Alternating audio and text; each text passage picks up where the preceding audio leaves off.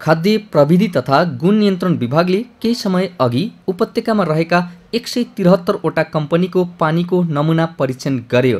त्यसमध्ये एकहत्तरवटा कम्पनीको पानी मापदण्ड विपरीत भेटियो। एक सय त्रिहत्तरवटा नमुना चाहिँ पानीको सङ्कलन गरेकोमा एकहत्तर नमुना चाहिँ झन् झन्डै झन्डै एकचालिस प्रतिशत चाहिँ मापदण्ड अनुरूप नपाइएको र गत गत साल यो मापदण्ड अनुरूप नपाइएका मुद्दाहरू पनि क्रमशः हामीले यस सालमा मुद्दाहरू दायर गर्ने गर्छौँ।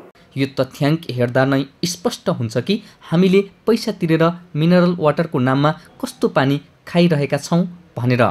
पिउने पानीका लागि रसायन विषादी र जीवाणु गरी तिनवटा मापदण्ड तोकिएको छ।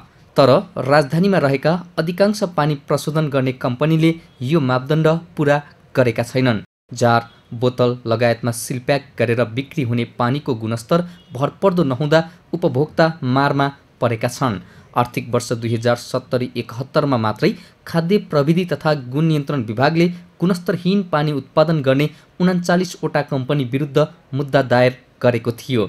र अहिलेसम्म चाहिँ हाम्रो उन्चालिसवटा मुद्दा यो विभागले हाम्रो खाद्य प्रविधि तथा उन्नयन विभागको काठमाडौँको अफिसबाट चाहिँ उन्चालिसवटा मुद्दा दायर भएकोमा बिसवटा मुद्दा चाहिँ पानीको नै परेको छ। त्यस हिसाबले हेर्दाखेरि हामीले पानीलाई नै बढी फोकस किन गरिराखेका छौँ भनेदेखि यो बढी चाहिँ संवेदनशील खाद्य पदार्थ पनि हो।